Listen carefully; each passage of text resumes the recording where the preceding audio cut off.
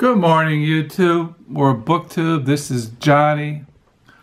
I thought I'd make a video this morning. My wife is off doing errands. It is a Wednesday morning here in Southwest Michigan. It is October the 17th, 2018. It is 11:29 late Wednesday morning.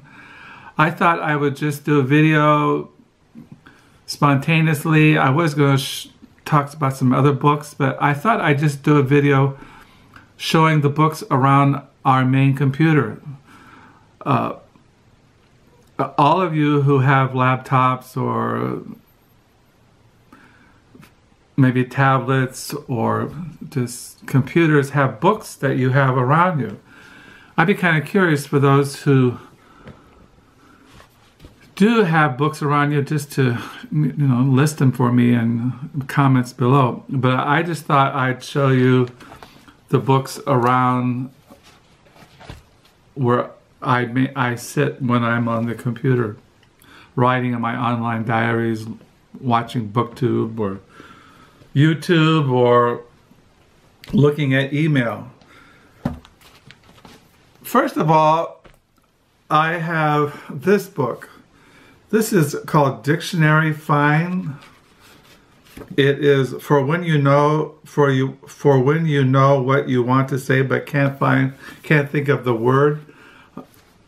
Like it uh, it has like father, for example. So you have father. What what other words are for father?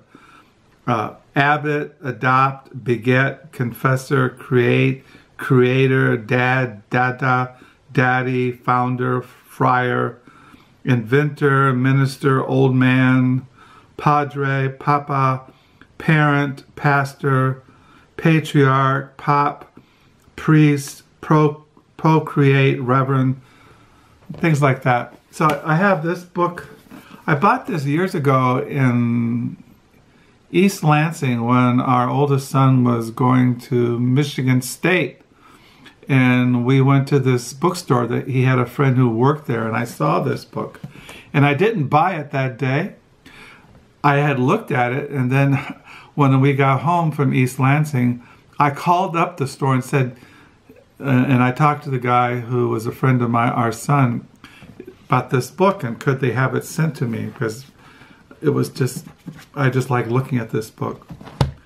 Also I have a Psalter hymnal uh, by this is the Psalter Hymnal, Doctrinal Standards and Liturgy of the Christian Reformed Church. It was published in 1959. I don't like the modern Psalters. I like the 1959 edition.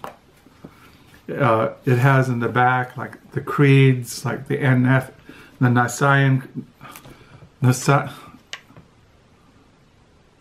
Nicene Creed, the Athanasian Creed, the Apostles' Creed. I believe in God the Father Almighty, maker of heaven and earth, and Jesus Christ, his only begotten Son, our Lord, who was conceived by the Holy Spirit, born of the Virgin Mary, suffered under Pontius Pilate, was crucified, dead, and buried. He descended to hell. The third day he rose again from the dead. He ascended into heaven and sitteth at the right hand of God the Father Almighty.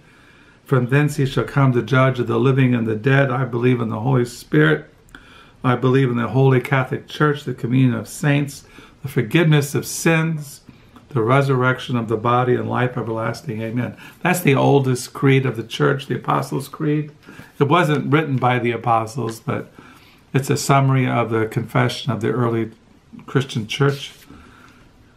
In the churches that we attend, they recite the Apostles' Creed, the Nicene Creed, the Athanasian Creed, and uh, it has liturgical forms, form for the baptism of infants. So I have that book, and then I have a Cruden's Complete Concordance, which if you're looking up for a verse in the Bible and all you know is the first word, like uh, circumspect or circumcision, it just lists all the verses where that word is found so it's a good thing. It, like sometimes you just can't find a verse, but this is a Cruden's Concordance.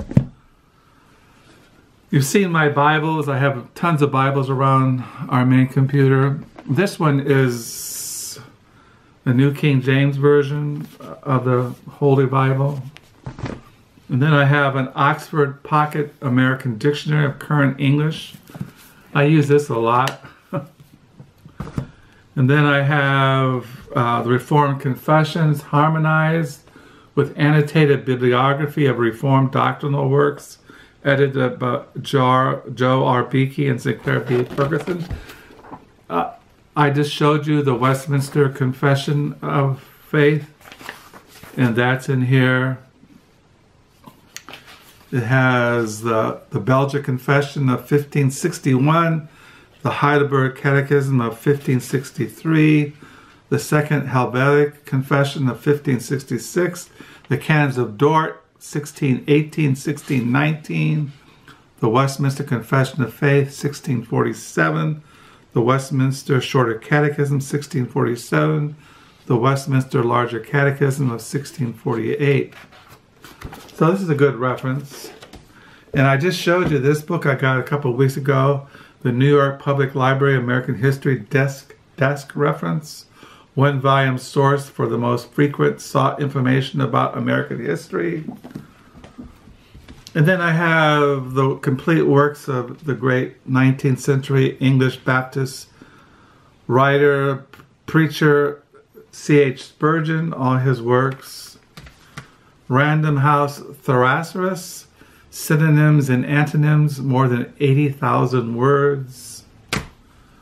A guide to pronouncing biblical names, that was in there. It has a little this photograph was given to me many years ago by a close friend who, who's now in heaven. That is a statue of Richard Baxter at Kidderminster in England. He gave that to me. He was stationed, my friend and his wife, they were in the military and they were stationed in England in their military career. And he gave me this photo of Richard Baxter. Forgot that was in here. then I have, I used this when I was in seminary. I used to carry it around me all the time because, no, was it this one? Maybe it was another one. Uh, let me see. Maybe this is another one. Anyway, I had a book like this when I was in seminary in Bible, in Bible college. I can't, I cannot spell. I can't speak English, I can't pronunciate, and I can't spell. So I always had this little book, the Word Book 3, a spelling guide over 40,000 words, and and I would use this all the time because you have to write term papers, you have to do write essays on exams, and I would always have this with me. Then I have slang and euphemisms, a dictionary of oath, curses, insults, ethics, slurs, sexual slang and metaphor, drug talk, college lingo, and related matters. I think I got two of these. I got this one too, American slang. I like, I like uh, slang. I don't use slang. Well, probably maybe once in a while I might use a slang word, but I have these in my, my main computer. American slang. And then I have liturgies of the Western Church, like uh, John Calvin uh, uh, in Geneva, there in Switzerland during the time of the Protestant Reformation. The for- and this is by John Calvin. Uh, the form of church prayers and hymns with manner of administrating the sacraments and consecrating the marriage according to the custom of the ancient church. And then it had that's on. Uh, then has Martin Bucer, who was one of the, I think he was a German reformer. The Strasbourg liturgy, Zwingli, the the Zurich liturgy. This is all uh, liturgies or forms of worship. They even, they even have, I didn't know this, but they have uh, Richard Baxter, the Savoy liturgy from 1661. And then I have Slots, Schott's original miscellany, is just miscellaneous things like, you know, different information like, um, oh, let me see here. Just different odd things. Like American dinner slang, eat Adam's Eve, two poached eggs, a Murphy, what's a Murphy? Potatoes, uh, moo juice, which is milk, uh, bucket of hail, which is a glass of ice, uh, hounds on an island, which is sausages on beans, uh, put out the lights and cry, which is liver and onions. You know, it's like dinner, American dinner slang. Uh, burn the British, which is toasted muffin. Uh, crowd, two of anything. Eve with a lid on, which is apple pie. Things like that. Here's another Cruden's Complete Concordance. This is the doctrinal standards and liturgy and church order of the Netherlands Reformed Church. That was the church that Dr. Joel R. Beeke was a minister in before he left and started the Heritage Reformed Church. And this is Aphorisms, a personal selection by W.H. Auden and Louis Kronenberger. Like, you know, aphorisms like, uh, let me see, find it. Just little sayings. Like, uh, here's a section on education. Uh, let me quote here Nietzsche, what does not destroy me makes me stronger. Uh, Hazlitt, when a thing ceases to be a subject of controversy, it ceases to be a subject of interest. Here's Dr. Johnson. When I take up the end of the web and find it pack thread, I do not expect by looking further to find embroidery. George Eliot, ignorance is not as damnable as humbug, but when it prescribes pills, it may happen to do more harm. Uh, let me see here. What else? Burton. I don't know. I don't like that one. Let me see. Donne. This is from Nature. Next, this chapter on Nature. Nature has no goal, though she has law. Things like that. Little aphorisms. So these are kind of books I have by our main computer. I have all kinds of Bibles, study Bibles, different translations of the Bible but I'm always using a dictionary because I can't spell. I cannot spell.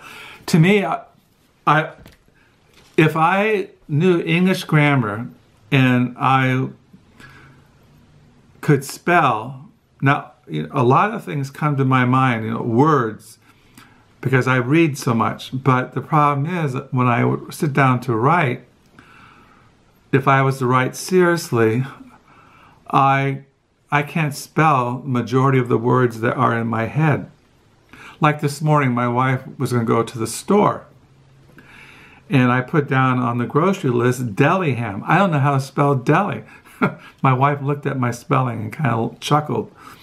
Uh, I can't spell. And uh, I can't memorize. When I was in Bible college and seminary, you had to do a lot of uh, Bible memorization. And I couldn't, I can't. Now, I know the Bible, I can find things generally. Now, I, I don't read the Bible, uh, you know, from Genesis to Revelations. Uh, as I mentioned, when I study the Bible, I study different uh, portions of the Bible. Like I might look at the Gospel of John for a while, or I might look at a certain theological subject. Uh, like I was reading this morning, I was reading uh, for devotions grounded in heaven, recentering Christian hope and life on God. So I'm looking at what the Bible teaches about heaven, about eschatology, about seeing God in heaven, uh, the work of Christ, uh, bringing the elect to heaven, things like that. And uh, I was also reading this morning, I got out uh, these old volumes of the works of Ezekiel Hopkins. These were printed in 1809. Uh, Ezekiel Hopkins was an English Puritan from the 17th century. I bought those old volumes, I, as, as I mentioned many years ago. There's a seminary here in Holland, Michigan, and they were getting rid of their old books. When I was first, uh, Carol, Carol and I were first married, her parents lived near the seminary, and I would go over there and I would I, as I mentioned, I would check out books, but they, they would also get rid of the old books and sell them for a dime a piece. And so I bought a lot of old books for a dime a piece. And I bought these Ezekiel works of Ezekiel Hopkins for 40 cents. and I was looking online this morning if they were still available. Well, they were published by the Banner Truth Trust, but they're out of print and each volume goes for 50 bucks if you were to buy them brand new. Now you could buy them like on, ebook or you know, things like that, but if you wanted to buy the complete works, probably cost you at least over a hundred dollars. And I got these. Now it's very readable. I mean, they're all and they're all beat up. But I was reading this morning. There's a there's a, a treatise in here I was reading this morning for devotions called The Excellency of the Heavenly Treasures. It's on Matthew 6. The text for the treatise is on Matthew 6, verses 20, 21, and 22. But lay up for yourselves treasures in heaven where neither moth nor rust does corrupt, where thieves do not break through nor steal. For where your treasure is, there will your heart be also. And you can read it. It's very readable. It's all beat up and it's all it's all musty. You might sneeze sometimes reading this stuff, but it's very readable. It's like I was reading here. Um, he says here, for example, and it's very uh, Ezekiel Hopkins. He was a 17th century English Puritan. He didn't leave the Church of England. He was a bishop in the Church of England. He was an Anglican. Some of the Puritans, as I've mentioned, they they left and became nonconformists. Some fled fled to the Netherlands, like William Ames, and some were in prison, like John Bunyan was in prison for a while, who was a very famous English Puritan who wrote Pilgrim's Progress. He says here, this is Ezekiel Hopkins uh, in his quoting from his treatise, The Excellency of Heavenly Treasures. He says, and that uh, it also appears two things in that he sets a higher price upon opportunities for the increasing of his heavenly treasure than upon any other seasons or opportunities whatsoever. Oh, what gain and enriching does does he make on a market day for his soul? Sabbaths to him are precious, ordinances to him are precious. Why? Because in them he sees the glory of Christ displayed and the fullness of the promise is unfolded. Because of them, his faith is strengthened, his love is inflamed, his hope confirmed. He goes far more wealthy than from them than he came to them. Therefore, it is an argument that he labors to increase his heavenly treasure because he sets a higher price and value upon opportunities to increase that treasure than he does in any other than upon any other whatsoever. Two, it appears in that he is willing to stand at a stint in outward enjoyments, but he cannot bear a stint in grace. He cannot live upon a self allowance there. Let God deal as he, how he pleases with him in outward things.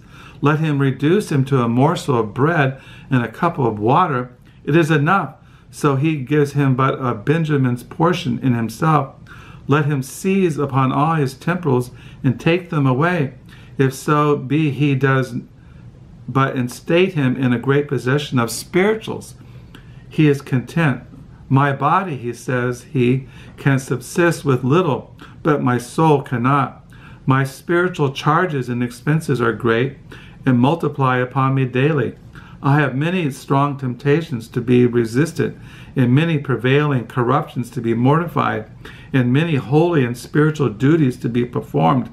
And how shall I be able to defray all this was so was no better to supply?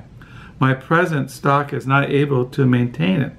Still, he is complaining that he has too little to maintain him in his work, that he may be such a Christian as he, he aims at and would be. Therefore, he cries out, Lord, though I thank thee for what I do possess, yet he still craves more of himself. Thou art infinite, and what is it what is it to enjoy a little of an infinite God? And more of thy Son, is he all sufficient? Why what is it to have an insufficient portion in an all sufficient Savior? More of thy grace, that is free. What is it to enjoy a limited portion of unlimited and boundless grace? This is the property of, he- of heavenly riches, that they make them that have them still to be con- covetous after more. The worldling adds heap to heap, and the Christian adds grace to grace, one degree of grace to another, and thinks he has obtained to nothing till he has obtained so far as that there is nothing further to be obtained, and therefore he goes on laboring after more till he does insensibly ripen into glory and has nothing more than for him to desire. If you value heavenly things now as your treasure, you will still be adding to this treasure, growing every day richer than toward than others toward towards God. And that's how he writes Ezekiel Hopkins. So I got these works out because I was down the lower level uh, looking at this treasure. I can't at this. I remember reading this this treatise, The Excellency of the Heavenly Treasures and I, I've been thinking about heaven and seeing God the last couple of months, and that came to my mind. But I wanted to show you the books around my our main computer. Like I've, I've been, as far as my diary this morning, I'm on page 854. My wife goes back to work tonight. I might do what I've been reading as far as secular literature. I yesterday, my wife and I we went out to the lake, went out for lunch, and on the way home, she wanted to stop at some thrift store and look at look at something, and I bought some used books. I'll show those maybe tonight. Just a couple odd things. I did get I did volunteer at the Book Nook Monday, and I got some books, and I'll show those.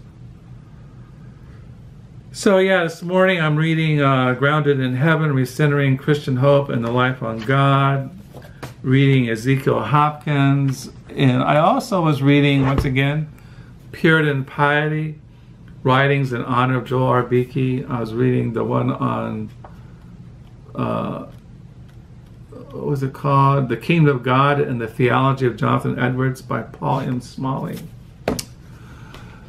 So yeah, today is a Wednesday. I don't know what I'm going to do today. I'm kind of a little out of it, but I just want to show you these books, make a video, say hello, hope you're doing well. Thank you for the comments. Thank you for the subscribers. And, yeah, and tell me what books you have around your where you sit when you write or when you are on the computer or when you're making writing your diary or when you're on your laptop or your tablet. Be kind of curious to know. So I'll sign off until next time. Bye.